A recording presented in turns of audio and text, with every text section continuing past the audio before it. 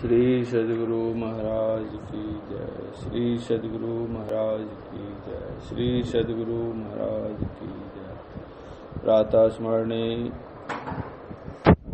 भूषित परमाराज संत सतगुरु महर्षि में परमहंस जी महाराज का प्रवचन। गुरु महाराज का यह प्रवचन दिनांक 22 बारह, उन्नीस सौ ईस्वी को बिहार राज्य अंतर्गत भागलपुर नगर के मारवाड़ी पाठशाला में हुआ था। ईश्वर का भजन कीजिए, कल्याण होगा। इस प्रवचन का प्रथम भाग। बंदों गुरुपद कंज कृपा सिंधु नरोप हरि महामोहतम पुंज जासु वचन रवि कर्ण कर। प्यारे धर्मानुरागी सज्जन वृंद मैं आप लोगों को संत मत के उपदेश तथा उसकी हित चिंतना, जो सब लोगों के वास्ते है, की बातें कहूँगा। संतगण कह गए हैं कि मनुष्यों को अपने कल्याण के लिए कर्म करना चाहिए। लोग एक सुखों में अपना कल्याण खोजते हैं। इन सुखों में कल्याण नहीं पा सकते। इसलिए कि एक सुख, क्षण भंगुर एवं दुख परिणामी है। सबसे विशेष बात यह है कि ईश्वर को जाने, विश्वास करें, स्वरूप को जाने और उस तक पहुँचने की कोशिश करें। इसी में कल्याण होगा। इतना ही नहीं कि संसारिक कल्याण होगा, बल्कि ईश्वर की ओर चलने से आप इहलोक और परलोक दोनों में सुखी रहेंगे। भक्ति साधन से मन शांत होता है। मन शांत नहीं तो सुखी नहीं। जो ईश्वर का भक्त होता है, उसका मन शांत होता है। सबको ईश्वर की भक्ति में लगना चाहिए। साधन भजन में मन को रमा देना चाहिए। ईश्वर स्वरूप निर्णय के बिना जो कोई ईश्वर भक्ति में चलते हैं, उनको ठीक ठीक पता नहीं रहता कि ठीक चलते हैं या नहीं। जो ईश्वर स्वरूप को जानते हैं, वे ठीक ठीक चलते हैं। इसलिए ईश्वर स्वरूप को जानना चाहिए। कितने ईश्वर स्वरूप की स्थिति में ही संदेह करने लगते हैं। संत लोग कहते हैं कि, राम स्वरूप तुम्हार वचन अगोचर बुद्धि पर अविगत अकथ अपार नेति नेति नित्य निगम कह, गोस्वामी तुलसीदास। कबीर साहब ने कहा कि स्वरूप अखंडित व्यापी चैतन्य चैतन्य, ऊँचे, नीचे, आगे, पीछे, दाहिन, बाएँ, अनन्य, बड़ा ते बड़ा, छोट ते छोटा, मीही ते सब लेखा सबके मध्य निरंतर साई दृष्टि दृष्टि सो देखा। चाम चश्म सो नजरी न आवे, खोजू रूह के नैना। चुन चगुन बजूद न मानू तय शुभा नमूना एना। जैसे एना सब दर्शावे, जो कुछ वेश बनावे जो अनुमान करे साहब को त्यों साहब दर्शावे? जाही रूह अल्लाह के भीतर ते ही भीतर के ठाई। रूप अरूप हमारी आशा आस है हम दुनहु के साई। जो को रूह आपने देखा, सो साहब को पेखा। कहे कबीर, स्वरूप हमारा साहब को दिल देखा। गुरु नानक देव जी महाराज कहते हैं अलख अपार अगम अगोचरी ना तिसु काल न कर्म, जाति अजाति अजोनी संभव ना तिसु भाव न भर्म। साचे सचियार विटहु कुर्बानु ना तिसु रूप वर्णु नहीं रेखिया साचे शब्द निशानु। ना तिसु मात पिता सुत बंधप ना तिसु काम न नारी अकुल निरंजन अपर परम परु सगली ज्योति तुम्हारी। घट घट अंतरी ब्रह्म लुकाइया, घटी घटी ज्योति सवाई। बजर कपाट मुक्ते गुरुमति निर्भय तारी लाई। जंत उपाय कालू श्री जनता, बसगति जुगति सवाई। सती गुरु से भी पदार्थ पावही छूटही शब्द कमाई, सूचे भारे, साचु समावे, बिरले सूचा चाच चारी, तंत कऊ परम तंतु मिलाई नानक शरण तुम्हारी। तात्पर्य यह है कि ईश्वर स्वरूप को बताते हुए संतगंध कहते हैं कि वह बुद्धि के पड़े है, इंद्रियों के पड़े है, स्वरूपतः अपार असीम है। उसकी भक्ति करो। एक असीम तत्व की स्थिति है। यह बुद्धि को ग्रहण होने योग्य बात है। यह केवल श्रद्धा ही माने सो नहीं। श्रद्धा से मान लेना भली बात है, लेकिन बुद्धि से विचारने पर भी एक असीम अनंत तत्व की स्थिति सिद्ध होती है। यदि एक अनादि अनंत असीम की स्थिति नहीं माने तो भी शादी शांत और ससीम होंगे। बुद्धि को यह कबूल नहीं होता। जब शांत है तो उसकी सीमा जहाँ समाप्त होती है, उसके परे क्या है? जब तक सब ससीमों के पार एक असीम अनंत नहीं कहते हैं, तब तक बुद्धि को संतोष नहीं होता। संतों ने एक असीम अनंत तत्व को ही परमात्मा कहकर पुकारा है। जो अनंत अपार है वह अपरम पार शक्ति युक्त भी है। वह सर्वव्यापक है, इसमें संदेह नहीं। सबसे विशेष व्यापक होने के कारण वह सबसे विशेष सूक्ष्म है। सूक्ष्म कहने से छोटा टुकड़ा नहीं समझना चाहिए, बल्कि आकाशवत, विस्तृत और सूक्ष्म। आकाश कहने से आकाश ही नहीं समझना चाहिए। वह आकाश से भी अधिक सूक्ष्म है। उस सूक्ष्म को स्थूल इंद्रियों से ग्रहण नहीं किया जा सकता। जो यंत्र जैसा होता है, उससे उसी तरह के तत्व का ग्रहण होता है। स्थूल यंत्र से सूक्ष्म तत्व का ग्रहण नहीं हो सकता। परमात्मा शक सूक्ष्माति सूक्ष्म है और इंद्रियाँ अत्यंत स्थूल हैं। इनसे उसका परमात्मा का ग्रहण नहीं हो सकता। इंद्रियों से जो ग्रहण किया जाता है वह माया है। गो गोचर जह लगी मन जाई, सो सब माया जाने हो भाई। गोस्वामी तुलसीदास, माया परमात्मा का स्वरूप नहीं है।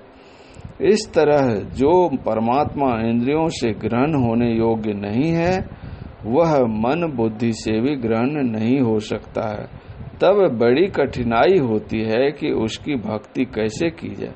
जिनकी आस्था ईश्वर में नहीं है वे यदि बता दें कि एक अनादि अनंत तत्व की स्थिति नहीं है तो उनका कहना ठीक है। लेकिन एक अनादि असीम के बिना बुद्धि को संतोष नहीं होता। यदि कहो कि असीम अनंत तत्व है, ठीक है, लेकिन उसको ईश्वर क्यों माने? तो जो अनादि अनंत असीम है, उसके अंदर सब के सब है। उसकी शक्ति के बाहर कोई नहीं जा सकता। जिसके वश में रहा जाए, उसको ईश्वर परमात्मा कहने में क्या गलती है? यदि कहा जाए कि वह ईश्वर है ही तो उसकी भक्ति करने से क्या लाभ? तो हम लोग सदा ससीम शादी शांत में रहते हैं। इसमें हम अशांत रहते हैं। अशांत होकर रहना हमें पसंद नहीं है। अशांत में रहना किसी को पसंद नहीं है। हमको शांति चाहिए। अनादि अनंत असीम का उल्टा सादी शांत ससीम है। शांत में रहते हुए हम अशांत हैं तो इसका उल्टा जो अनंत असीम है, उसको पहचान लें, जान लें, प्रत्यक्ष जान लें। जैसे हम शांत को प्रत्यक्ष जानते हैं तो पूर्ण संभव है कि उसको पाकर शांति पाएँगे और कल्याण को प्राप्त करेंगे।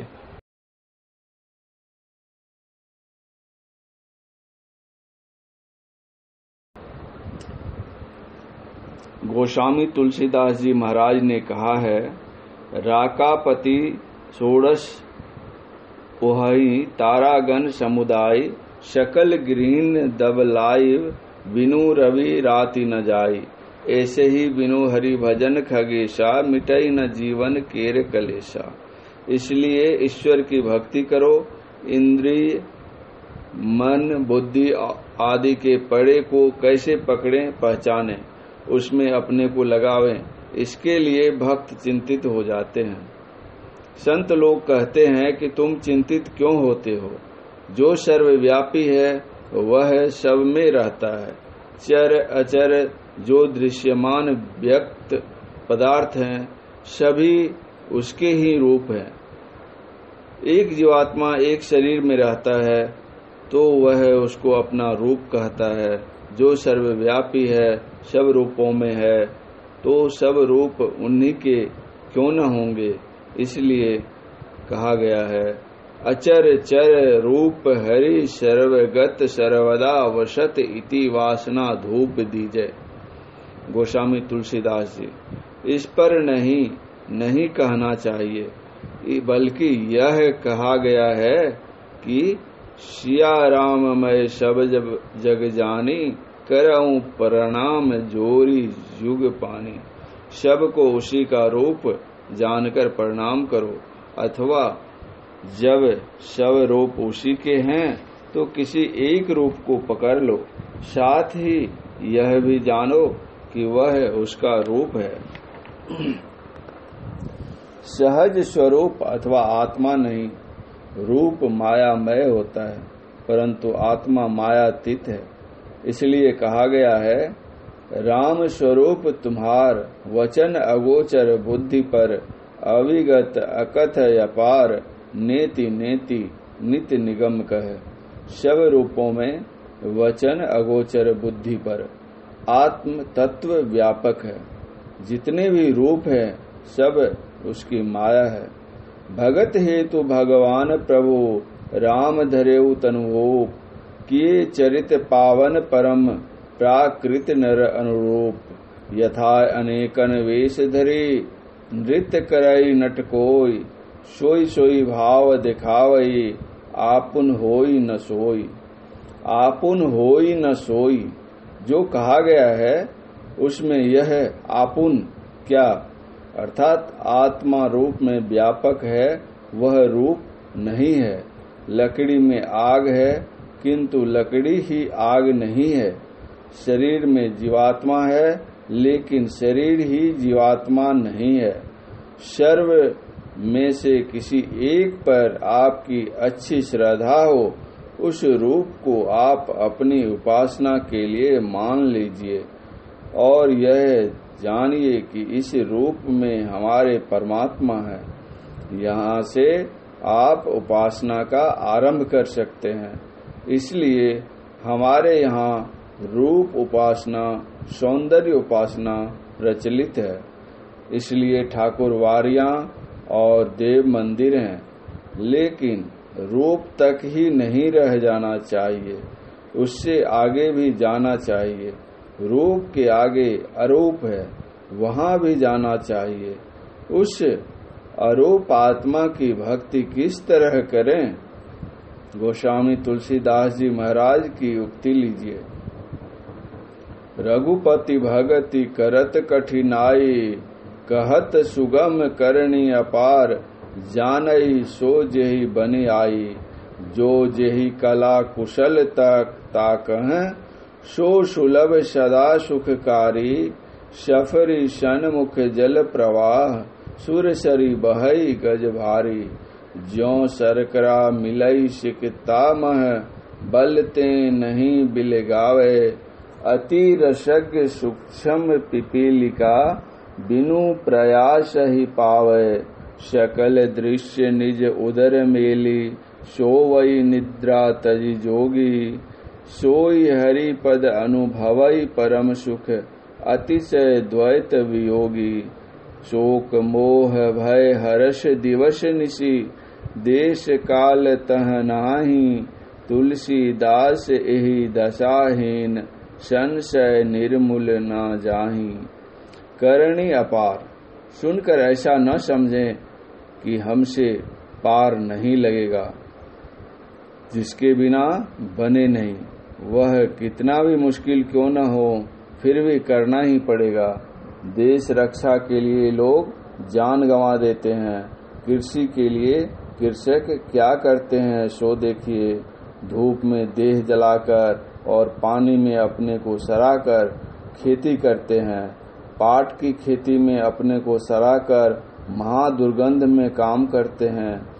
लेकिन बैठकर ध्यान भजन भजन करने में कठिन मालूम होता है। ऊपर कथित पद में हाथी, मछली और चीटी की उपमाओं के द्वारा योगाभ्यास की बात समझाई गई है जिसकी सूरत शरीर की सारी इंद्रियों में फैली हुई है उसको हाथी कहा गया है। जिसकी सूरत सिमटी हुई है उसको छोटी मछली या चींटी कहा गया है। चेतन की धारा ब्रह्मांड से पिंड की ओर सदा बढ़, बढ़ती रहती है। ऊपर से नीचे की ओर धारा प्रवाहित होती है। सिमटी हुई सूरत उस धार को पकड़कर नीचे से ऊपर जाती है। पुनः बालू, जर धार है और चीनी चेतन धार है। सिमटी हुई चेतन सूरत चींटी है। वह जर से अपने को फुटा, विलग कर लेती है। इसके लिए योगाभ्यास अपेक्षित है। जो अपने को अपने अंदर अच्छी तरह समेट लेता है, जैसे कछुआ अपने अंगों को, वही योगी है। जो बहिर्मुख रहता है वह इंद्रियों में रहकर, विषयों में रहता है। जो अंदर में प्रवेश कर, वह इंद्रियों से सिमट कर, विषयों से छूटकर उनसे ऊपर हो जाता है। इसके लिए एक विशेष अवस्था होती है, जो न तो जागृत, न स्वप्न और न सुषुप्ति की अवस्था है, परंतु तूरी अवस्था कहकर विख्यात है। इनमें रहने वाला अपने अंदर में रहता है और वही सारे ब्रह्मांड को देखता है। इसलिए शकल दृश्य निज उदर मेली सो वही निद्रा तज जोगी कहा गया है। स्वप्न और सुषुप्ति की अवस्थाओं को छोड़ दिया है तथा जागृत में भी नहीं है। इसलिए नींद छोड़कर सो गया है। वहाँ वह ब्रह्म पीयूष का भोग करता हुआ ब्रह्मानंद में मग्न होता है।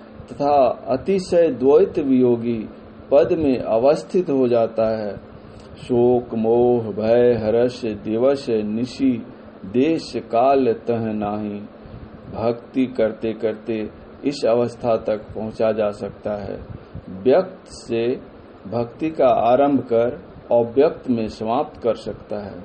इसको और दूसरी तरह से गोस्वामी तुलसीदास जी महाराज ने रामायण में लिखा है जो नवधा भक्ति के नाम से प्रसिद्ध है। यथा, प्रथम भक्ति संतन कर संगा दूसरी रति मम कथा प्रसंगा, गुरुपद पंकज सेवा, तीसरी भक्ति अमान, चौथी भगति मम गुण गना करई कपट तजिगान।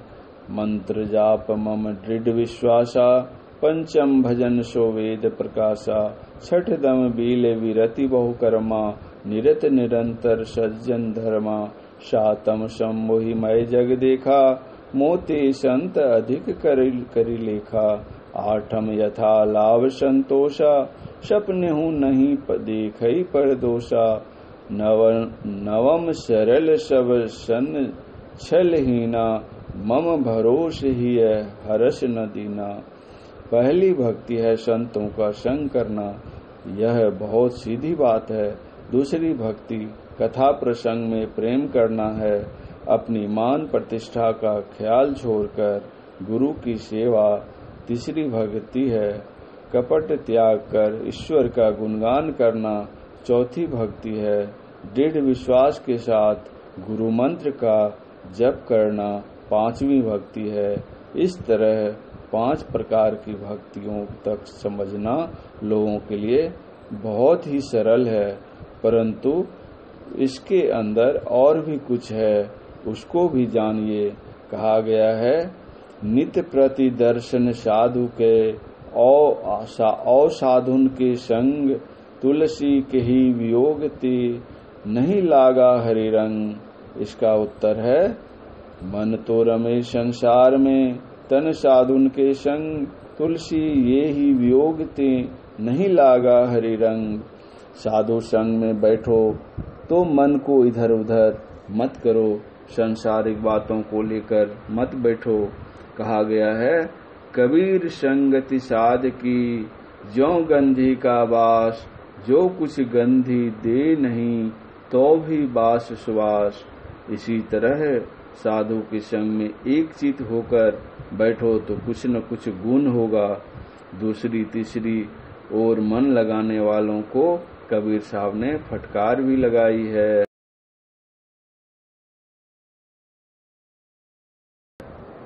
ऐसी दीवानी दुनिया भक्ति भाव नहीं बूझे जी। कोई आवे तो बेटा मांगे, यही गुसाई दीजे जी। कोई आवे तो दुख का मारा, हम पर कृपा कीजिए जी। कोई आवे तो दौलत मांगे, भेंट रुपया लीजिए जी। कोई करावे ब्याह सगाई सुनत गुसाई रीझे जी। सांचे का कोई गाहक नाही, झूठे जगत पपीजे जी, पतीजे जी। कहे कबीर, सुनो भाई साधो, अंधों को क्या कीजे जी? ऐसे मन से साधु का संग करने से हरे रंग नहीं लगता है। मन को संयम में रखते हुए साधु संग करो। तब हरी रंग लगेगा। कथा प्रसंग में मन लगाओ। यदि मन नहीं लगाओ तो कथा में क्या बात हुई, समझ नहीं सकोगे।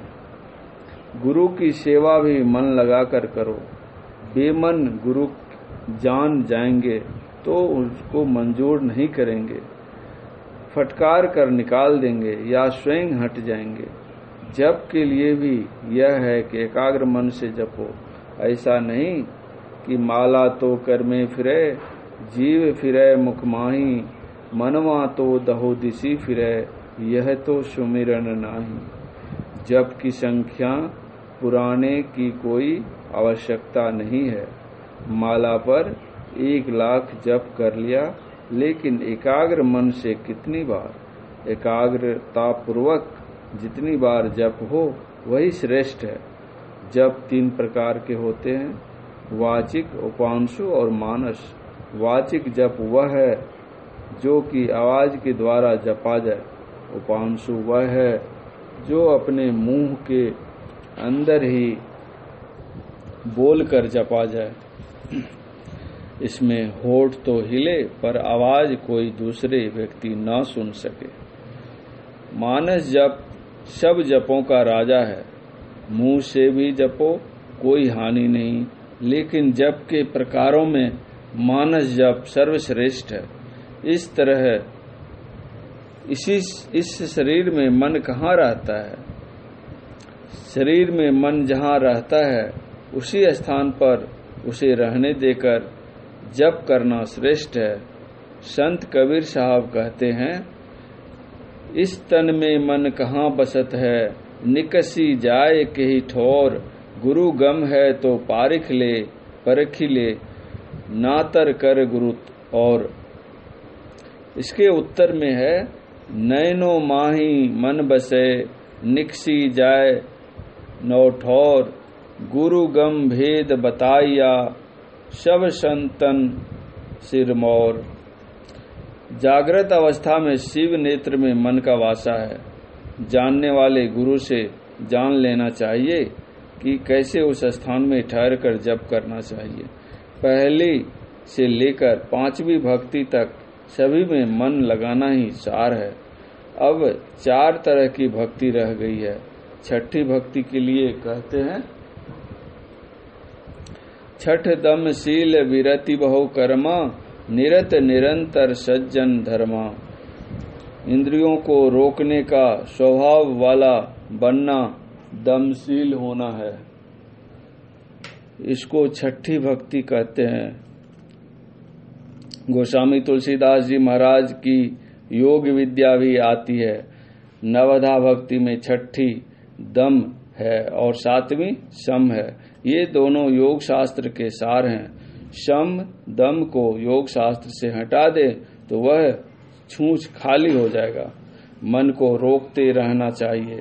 कितने लोग कहते हैं कि विचार द्वारा मन को रोको। विचार द्वारा मन को थाम कर रखना ठीक ही है, लेकिन जानना चाहिए कि विषयों की ओर इंद्रियाँ क्यों जाती है।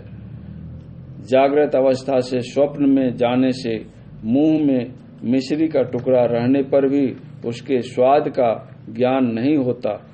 जागृत और स्वप्न के बीच में एक अवस्था होती है जिसको तंद्रा कहते हैं। इसमें हाथ पैर कमज़ोर होते जाते हैं। शक्ति भीतर की ओर प्रवेश करती है।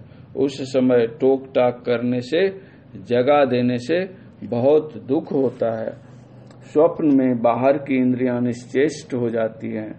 बाहर विषयों में नहीं रहती।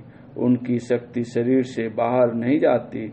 इंद्रियों की शक्ति अर्थात मनोमय चेतन धारा अपने अंदर में रहने से इंद्रियाँ बाह्य विषयों की ओर नहीं जाती है। स्वाभाविक रूप से नित्य ऐसा होता है। इसी नमूने पर ऐसा यत्न जाने कि जिस केंद्र से चेतन निहित मानस धारा का विखार होता है, वहाँ उसको समेट ले तो विषयों में मन नहीं जाएगा। केवल विचार द्वारा मन को रोकने में जो कमज़ोरी रह जाती है, सो इस अभ्यास में मज़बूत हो जाने पर मिट जाती है। इंद्रियों के धारों में, मानस धारों के रहने से, विषयों से मन और इंद्रियों का संबंध बना रहता है, परमात्मा से नहीं।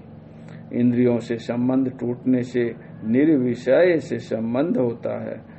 भक्त राम राम कहे और राम की बात न माने तो वह कैसा भक्त है? श्री राम ने कहा है कि यही तन कर फल विषय न भाई, स्वर्ग स्वल्प अंत दुखदाई। रामचरित मानस, साथ ही छठी भक्ति करने का आदेश भी दिया है। इंद्रियों को जो अव्यक्त निर्विषय तत्व है, वह परमात्म स्वरूप है। उसका ग्रहण होना ही चाहिए, लेकिन आरंभ में ही अव्यक्त ग्रहण नहीं किया जा सकता है। छठी भक्ति कैसी होती है तो सुनिए।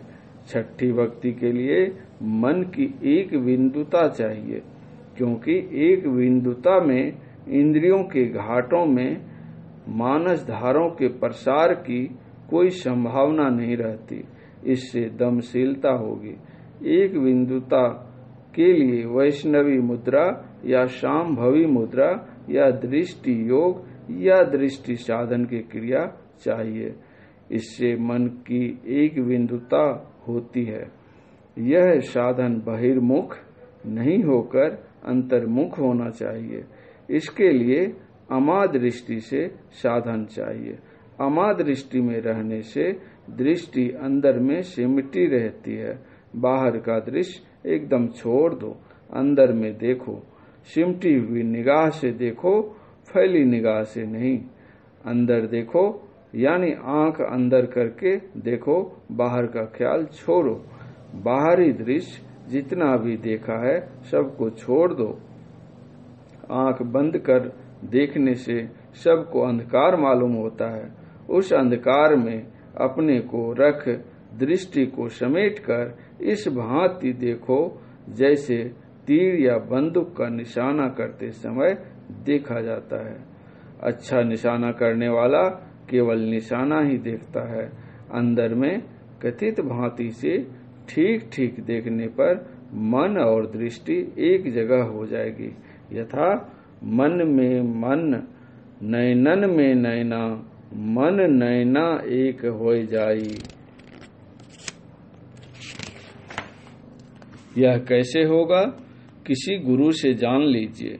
यदि कहो कि गुरु के सामने नवने कौन जाए तो जान लो कि बिना नवे कोई विद्या नहीं आ सकती। काठ कोरो, नवता नहीं, उसको यह ज्ञान नहीं बतलाया जा सकता। कबीर साहब के वचन में आया है, कबीर नवय सो आप को, पर को नवय न कोय घाली तराजो देखिए नवय सो हो सभा में भजन भेद बताया नहीं जाता। यह दीक्षा एकांत में दी जाती है। इसको प्राप्त करने के लिए विशेष गरज होनी चाहिए। जिसको गरज हो, वह आवे तो बताया जाएगा। फिर कितनी गरज है, सो भी देखी जाती है। और जिस गुरु से दीक्षा लेनी हो, उस गुरु की भी जाँच कर लेनी चाहिए। यह जाँच। एक ही दिन भे, की भेंट से नहीं होगी। दृष्टि साधन करने के लिए डीम और पुतलियों पर ज़ोर लगाने की आवश्यकता नहीं। डीम पुतलियों पर ज़ोर लगाने को यदि कहा भी जाए तो वैसा मत कीजिए। डीम और पुतलियों पर बिना ज़ोर लगाए जो दृष्टि योग किया जाता है, वह हठ योग नहीं। राजयोग है। अथक परिश्रम से प्रत्याहार करो तो मन एक स्थान पर ठहरेगा और एक बिंदुता प्राप्त होगी। इसमें पूर्ण सिमटाव होता है। बिंदु को आप मन से नहीं बना सकते। परिणाम शून्य। परिमाण शून्य। चिन्ह को आप मन से नहीं बना सकते। असली बिंदु मन से नहीं बनाया जा सकता। काल्पनिक बिंदु से रेखा गणित का हिसाब कर लेते हैं। काल्पनिक रेखा से ही हिसाब बना लेते हैं। रेखा में लंबाई है, चौड़ाई नहीं। पेंसिल की नोक जहाँ रखिए, वहीं चिन्ह होगा, जो दृष्टि और मन को अत्यंत समेटकर अस्थिर रखता है। उसको तब जो दिखता है, वही परम बिंदु है, वही ज्योतिर्मय बिंदु है। तेजो बिंदु परंग ध्यान विश्वात्म हृदय संस्थितम। तेजो बिंदु परिषद हृदय स्थित विश्वात्म तेजस स्वरूप बिंदु का ध्यान परम ध्यान है। जो उस बिंदु को ग्रहण करता है, उसको ज्योति मिलती है। वैज्ञानिक अपने प्रयोगों के द्वारा बतलाता है कि हाइड्रोजन और ऑक्सीजन मिलाने से पानी होता है। यदि विश्वास न हो तो खुद करके देख लीजिए। उसी तरह मेरी बातों में विश्वास नहीं हो तो मैं जो प्रयोग बतलाता हूँ, उसको करके देख लीजिए। लोग लाल टीका लगाते हैं। वह बिंदु का द्योतक है। शक्ति का चिन्ह है। सिमटाव से शक्ति एकत्रित और केंद्रित होती है। केंद्रित शक्ति ज्योति स्वरूपा है। शक्ति बढ़ने से दमशीलता आती है। जहाँ शक्ति, वहाँ शिवा और शक्ति श्री सीता जी महारानी को भी कहते हैं।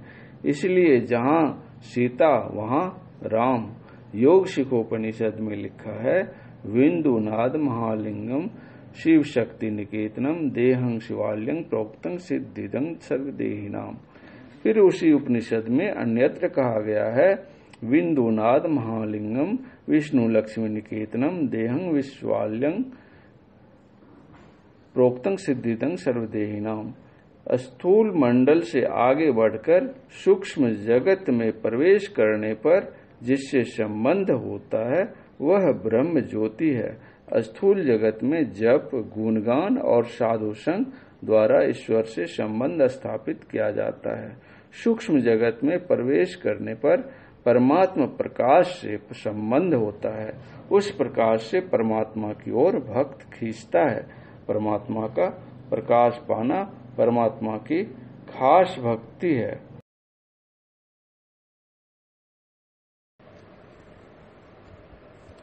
जिस साधन में मन और इंद्रियों का संग संग साधन होता है, वह दम का साधन कहलाता है। जिसमें केवल मन का साधन होता है, वह शम का साधन कहलाता है। शातम शम मोहि मय जग देखा, मोते संत अधिक करी लेखा। शम का अर्थ है क्षमता गोसाई जी ने अपने ग्रंथों में तालब्य सौ के स्थान पर दंत सौ का प्रयोग अनेक स्थलों पर किया है। शम में दंत सौ रखने से क्षमता के साधन द्वारा सातवीं भक्ति होती है। लेकिन बिना सम मनोनिग्रह के साधन के क्षमता नहीं हो सकती। योग शास्त्र में सम और दम शब्द बड़े महत्व के हैं। सम का अर्थ है मनोनिग्रह। समत्व की प्राप्ति समाधि में होती है। समत्व में स्थित प्रज्ञता होती है। गीता अध्याय दो में देखिए। स्थित प्रज्ञता बहुत ऊँचा पद है। इससे ऊँचा पद और नहीं हो सकता है। अस्थित प्रज्ञ वह होता है जो क्षमता प्राप्त करता है। मनोनिग्रह या शम के बिना समाधि नहीं हो सकती। मनोनिग्रह के बिना समाधि की ओर एक डग भी नहीं जाया जा सकता। इसलिए कहना पड़ता है कि गोस्वामी जी ने सातवीं भक्ति में शम तालब शौक वाला शम के लिए ही शम लिखा है, दंत सौ वाला शम। इस सातवीं भक्ति को ईश्वर से क्या संबंध है, इस पर सुनिए। समत्व समाधि में प्राप्त होगा। समाधि प्राप्त होने पर ईश्वर दूर नहीं रह सक, रह जाता। ब्रह्म ज्योति में वृत्ति जाने पर ब्रह्मानंद की अनुभूति होने लगती है। ऋषि मुनि लोग ब्रह्मानंद, ब्रह्मनाद के साधन को नादानुसंधान कहते हैं। इसी को संत नाम भजन या सूरत शब्द योग कहते हैं। अपनी वृत्ति को स्थूल से सूक्ष्म में ले जाकर अंतर्नाद में वृत्ति जोड़ो। केवल मनोवृत्ति से ही नाद ग्रहण होता है। वहाँ कोई बाह्य इंद्रिय नहीं है। नादानुसंधान में शिवा मन के अन्य कोई इंद्रिय नहीं रहती। नाद की बड़ी महिमा है। शिव संगीता में लिखा है, न नाद सदृशो लय। है नाद साधन मनोलय का सर्वोत्तम साधन है। मन बहुत चंचल है। उसकी चंचलता मिटाने का सर्वोत्तम साधन नादानुसंधान है। मृग रूपी चित्त को बांधने के लिए यह नाद जाल का काम करता है। समुद्र तरंग रूपी चित्त के लिए यह नाद तट का काम करता है। शंकराचार्य जी ने अपनी योग तारावली में लिखा है, मन तो मेरी भेरी मृदंग और शंख आदि के आघात जन्य नादों में भी एक क्षण के लिए मग्न हो जाता है। फिर इस मधुवत अखंडित और स्वच्छ अनाहद अनाहत नाद की तो बात ही क्या है?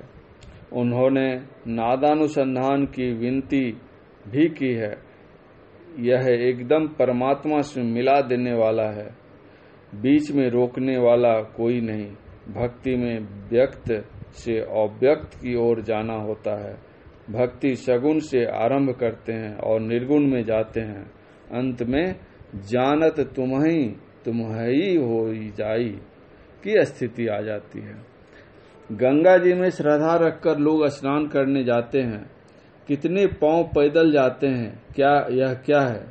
यह है गंगा की भक्ति। गंगा की ओर चलना गंगा की भक्ति है। उसी तरह ईश्वर की ओर चलना ईश्वर की भक्ति है।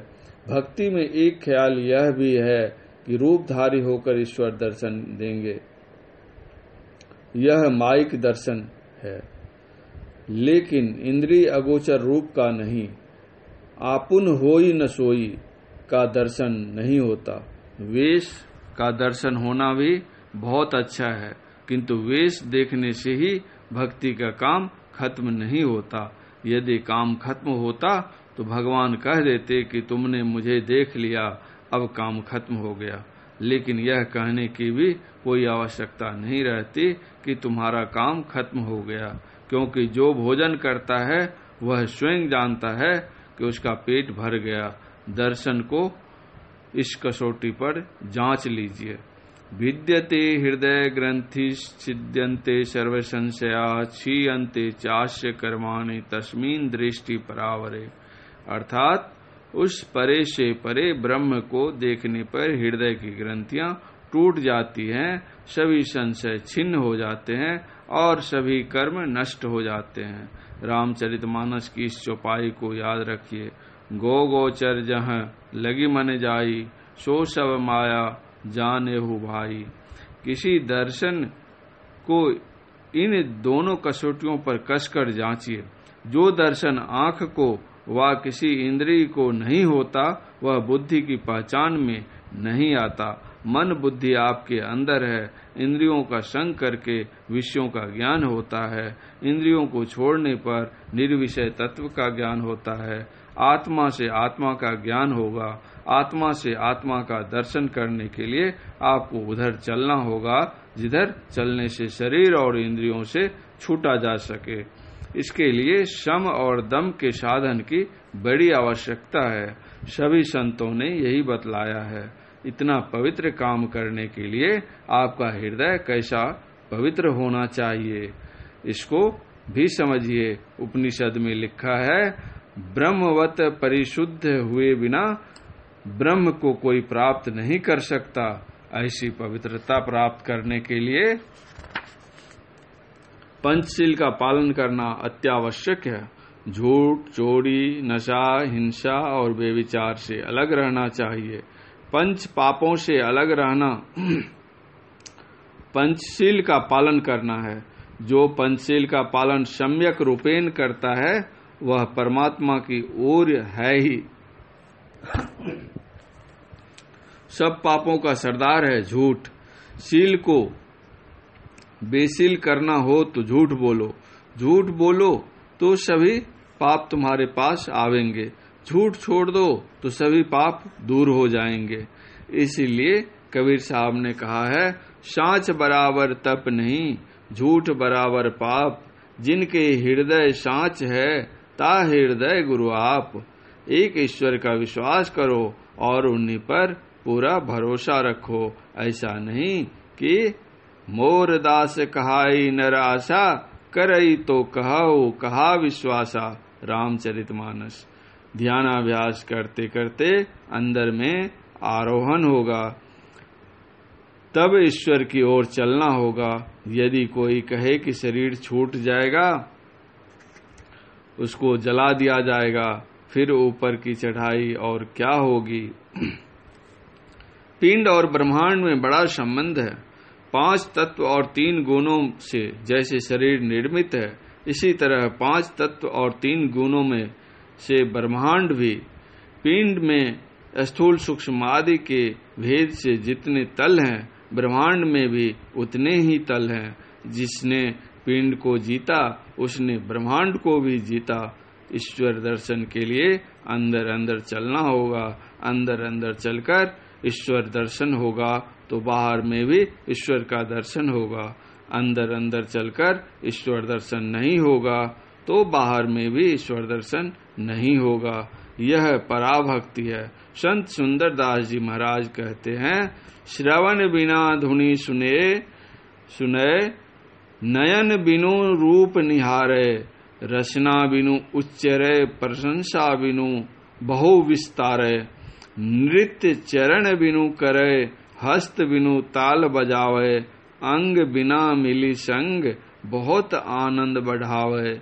बिनु शीशु, बिनु शीश नवे जह सेव्य को सेवक भाव लिए रहे, मिली परमात्म सो आत्मा। पराभक्ति सुंदर कहे। अपराभक्ति से पराभक्ति तक पहुँचो, मोटी भक्ति से आरंभ करो और सूक्ष्म भक्ति के अंत तक पहुँचो। शगुन से आरंभ करो और निर्गुण में चले जाओ। निर्गुण पद से भी ऊँचे पद में उठा जाता है। पहले ही निर्गुण में कोई नहीं जा सकता और न पहले निर्गुण की उपासना ही होती है। परमात्मा का जो सूक्ष्म प्रतीक मिलता है, वह भी सगुण है। स्थूल सगुण से सूक्ष्म सगुण में जाओ। सूक्ष्म सगुण रूप से सूक्ष्म सगुण रूप में जाओ।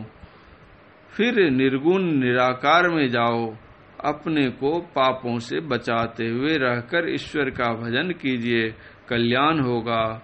जीवी थल बिनु जल रही न सकाई। कोटि भांति को करई उपाई तथा मोक्ष सुख सुनु खगराई रही न सकई हरि भगति विहाई जहाँ भक्ति है, वहीं मुक्ति है, और जहाँ मुक्ति है, वहीं शांति और कल्याण है। श्री सदगुरु महाराज की जय।